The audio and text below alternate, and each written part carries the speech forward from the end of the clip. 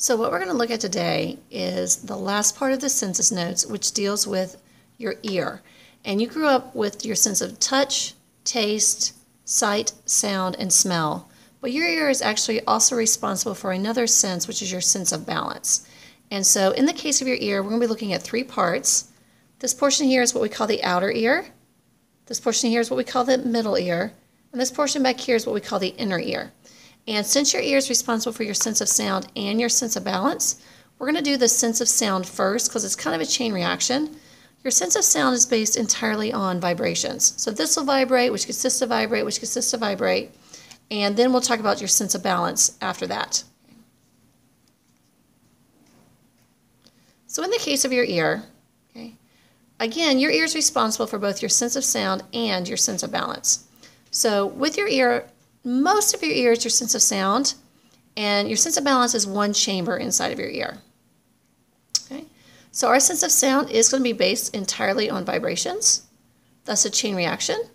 And this will cause this to vibrate and so on and so on and so on. So forgive me for being a little shaky here, but there we go. And again, your ear is divided into three sections. Your outer ear, your middle ear, and your inner ear. Your pinna is what you think of as your ear. It's the hyaline cartilage, and its job is to collect sound. And so remember, it's folded, and those folds are there for surface area. And then your tympanium is what you know of as your eardrum. And your middle ear will be from your tympanium to what we call your windows. Okay. Your middle ear is where you find your ossicles. Remember, ossicles are the three ear bones. And if this room were the middle ear, the door would be your eardrum, and then you have two windows in the back. Well, each window would lead to a different chamber because your inner ear has two chambers in it. One of those chambers will be for your sense of sound, and the other chamber will be for your sense of balance. So we're going to do your sense of sound first. Okay? So in the case of your outer ear, okay, like we said, the pinna is what we call your ear flap. Sorry for it bouncing. Okay? The pinna is your ear flap, is what you would call your ear. It's that hyaline cartilage, and it's there for sound amplification. Okay? Your ear pinna is folded, and that's to shoot sound down into your auditory meatus. Remember, your auditory meatus is your ear canal, and it's also called your external auditory canal. And imagine if you didn't have what you call your ear. Sound would hit your skull and then turn around and bounce right back out. The only way you would hear something is if just by chance the sound hit it just right, so it just happened to go straight down your ear hole. But your pinna's job is to collect the sound waves. And it's folded so the sound waves, when they hit your ear, bounce downward or upward and bounce into your auditory meatus. That's why animals who have movable ears, they'll cup their ears. Or when you really need to hear something, you put your hand behind your ear, but your ear is cupped. That cupping of the hand or the cupping of the ear helps project the sound waves down into your auditory meatus. So like I said, if you didn't have what you call your ear, the sound waves would hit your skull and then turn around and bounce right back off. And you wouldn't hear anything. The only thing you would hear is if it just happened to hit your skull right, so it went down your auditory canal. And if you guys, um, with your auditory canal, it gets it starts off wide and gets thinner and thinner and thinner and thinner. That is in order to speed up sound waves. You might have seen those things like in stores or museums where it's like this big tub and you put money in it and it starts to roll. It just kind of rolls through the tub and then it starts going down the tunnel and it goes down the funnel. It gets faster and faster, faster, faster, faster. Well, that is how your auditory canal works.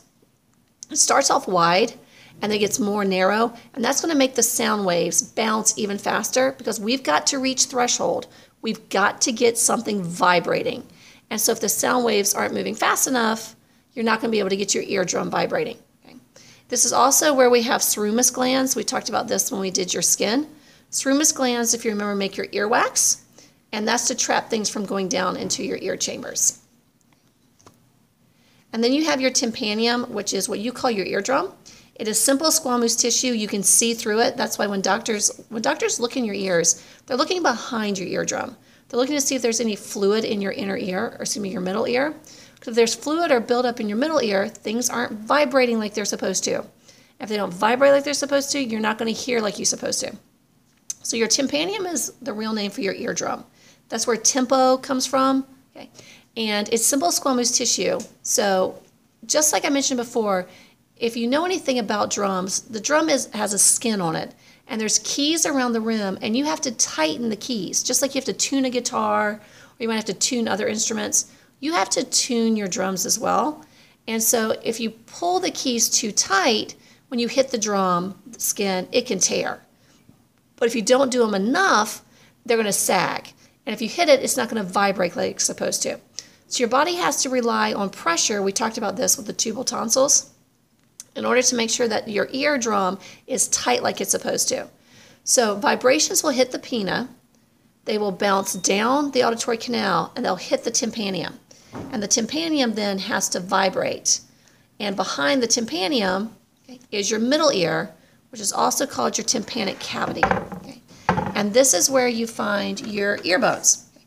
And we talked about the ear bones when we did the skull. These were, remember, as a group called your ossicles.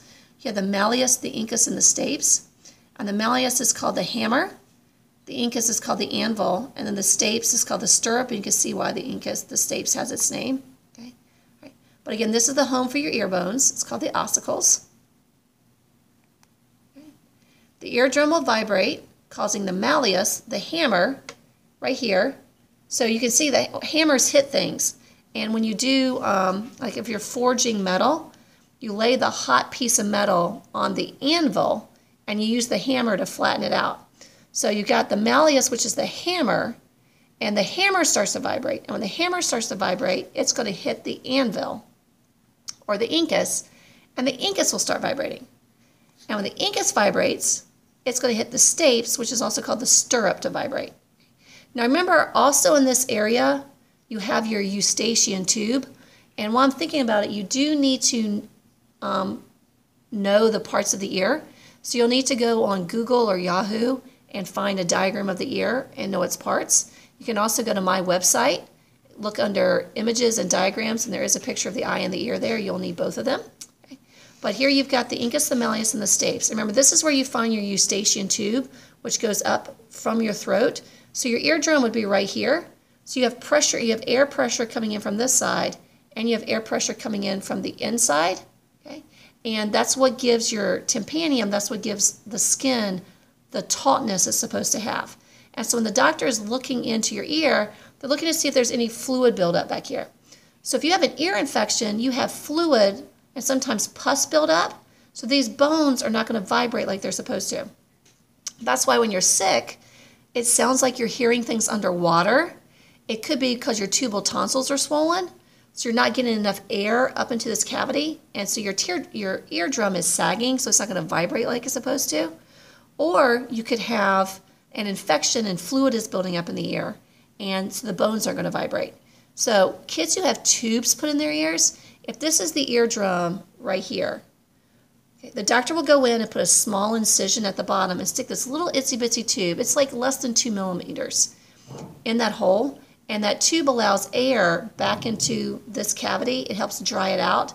It also helps release any mucus or liquid um, and help clear out that area as well. So the pinna takes the sound, focus it to the auditory meatus, the external canal. The sound vibrates down the canal, hits the tympanium. The tympanium vibrates, which gets the malleus vibrating, which gets the incus vibrating, which gets the stapes vibrating. Now, at the end of this chamber, you have two openings. Okay? So like I said, if this room were the middle ear, the front door would be the tympanium, the eardrum. The two windows back in the back would be these two windows I'm talking about here. Now, each window would lead to a different chamber. One chamber is going to be responsible for your sense of sound, and another chamber is going to be responsible for your sense of balance. Okay? But they both make up what we call your inner ear. Okay? So the middle ear ends deep within the temporal bone, okay? and the wall has two openings in it, each covered with a membrane. Opening one is called the oval window because it's oval shaped, and it will lead to the chamber in the inner ear that's used to continue this passage of sound. Opening two is called the round window. It's also called the cochlear window. It leads to the chambers of the inner ear that are responsible for your sense of balance. Okay, so we're going to continue with the sense of sound. So when the incus, when the malleus starts to vibrate, it gets the incus vibrating. When the incus starts to vibrate, it gets the stapes vibrating. And the stapes will cause the oval window to start to vibrate. Okay. And there's going to be a chamber behind the oval window. So we have this picture here. All this part in tan is the outer ear. Here's your pinna, here's your auditory meatus, and there's your eardrum. This area here in pink represents the middle ear, and you can see the malleus, the incus, and the stapes. And then back here is the inner ear, but you can see there's two parts to it. And you can see how the stapes goes up against this round snail-like thing. It's called the cochlea. That's going to be the chamber responsible for your sense of sound.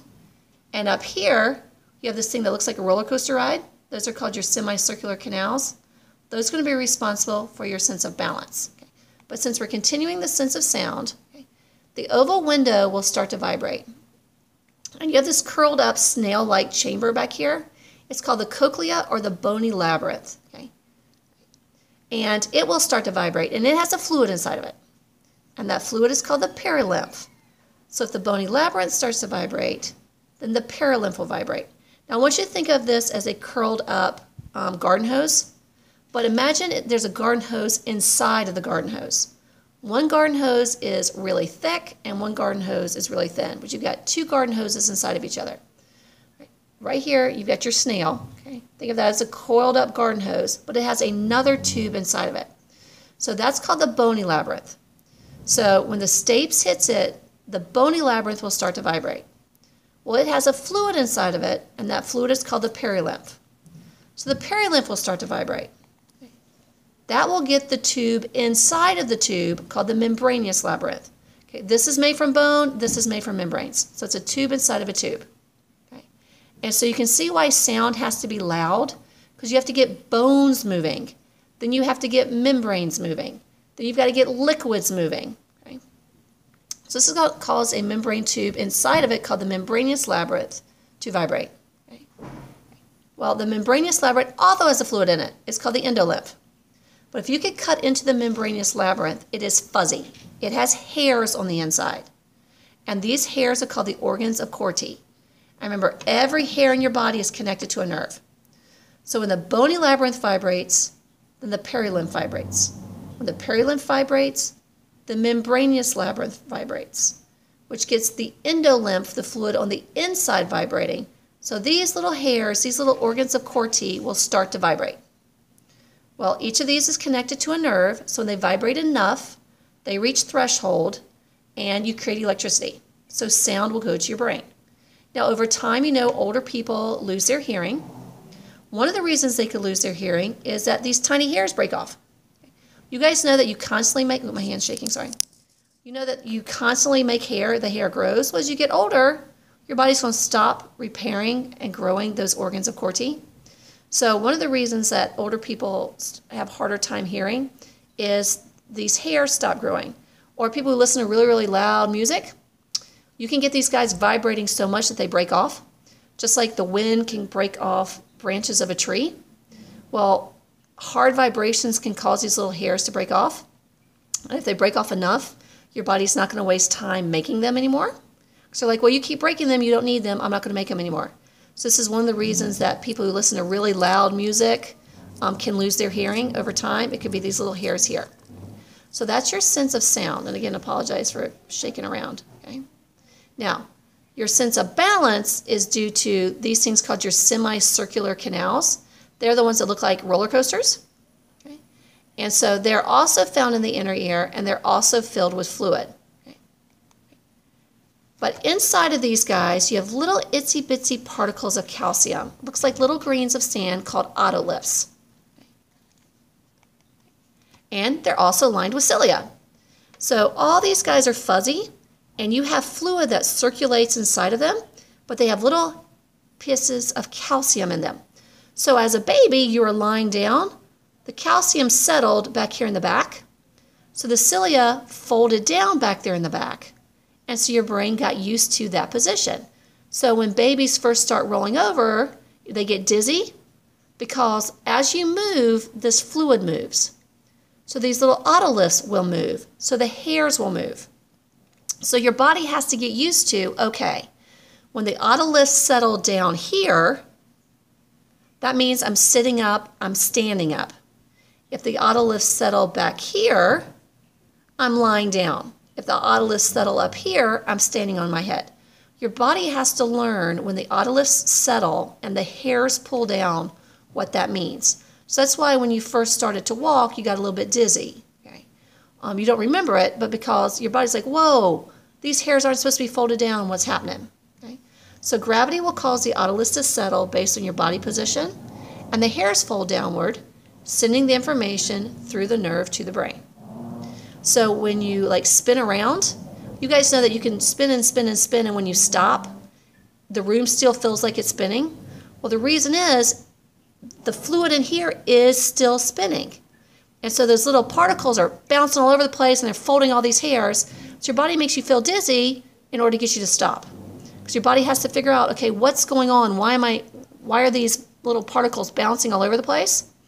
And when you stop spinning, the fluid is still spinning. So that's what gives you that dizzy sensation or the idea that the room is still. Now, you guys know if you get on a boat, you can get seasick. Well, that's more of an eye brain coordination. You see the horizon going up and down, okay, and you feel the boat going up and down, but physically, you know your feet aren't moving. That's why if you get really dizzy, you're supposed to look at your feet because your feet are stable. Your feet aren't moving. When you look at your feet, your feet aren't moving. They're in the same place. But if you look up, the scenery is flying by you. That has nothing to do with the fluids here because the fluids aren't moving, your feet aren't moving. It's more of a visual, and your brain gets messed up saying, Whoa, why? If my feet aren't moving, why is everything else moving? And it can throw you off. Okay? And so this is going to help tell your brain its body position. And again, when you spin, these otoliths and the fluid spins. Okay? So that is it for your sense of sound and your sense of balance.